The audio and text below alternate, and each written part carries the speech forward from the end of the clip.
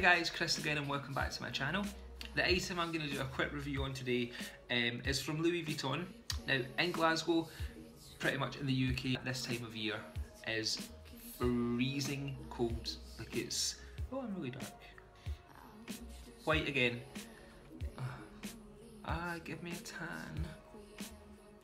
So at this moment in time it is freezing in the UK.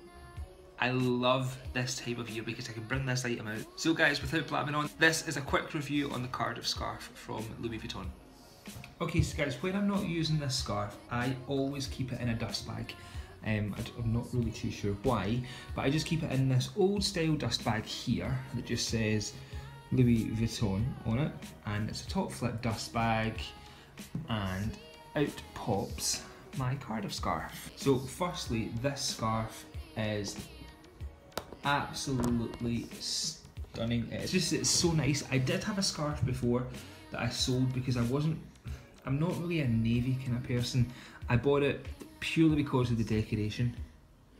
Um, it was so nice, but yeah, I love this so much better. So, um, how do I show you this? So firstly, when I open it out, it has these gorgeous ruffly parts here, just in there. I absolutely adore these. They're so soft.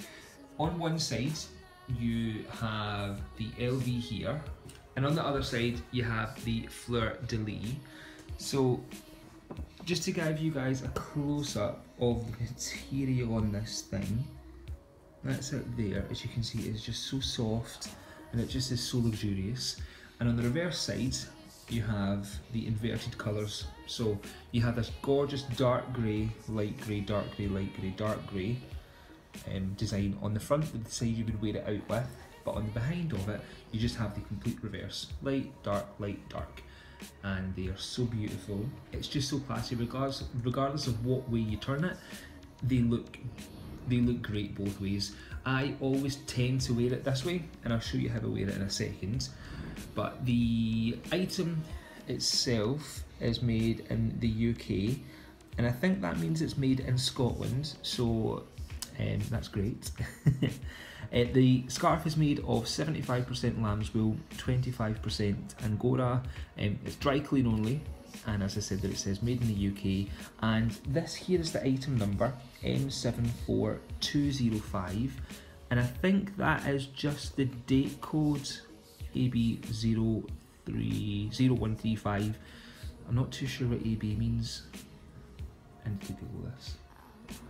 Okay, Yoogi's Closet is always the best place to go to if you're ever trying to authenticate anything. So what did I say? AB. Okay, so here we go. A O A A A H A. Oh, hmm. Okay. okay, it doesn't have an AB. Um, fuck oh, okay, I can't find the date code, but must be the UK because it's made in the UK. And yeah, that's that there. That's such a beautiful image. Wow.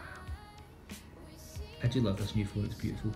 Um, so there really isn't much to go through with this scarf, guys. As I said, it's it's a scarf first off.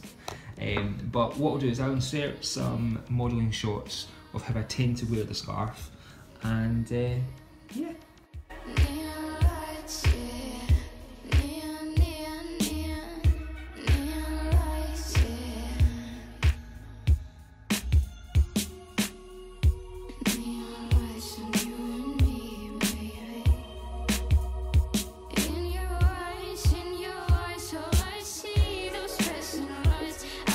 So I really hope you found this video helpful. Um, this is the beautiful Cardiff scarf. It is Mm, it is just so soft. I absolutely adore this scarf.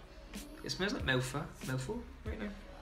Hmm. I do love the quality of this scarf. It is spectacular and it is just such a beautiful fabric.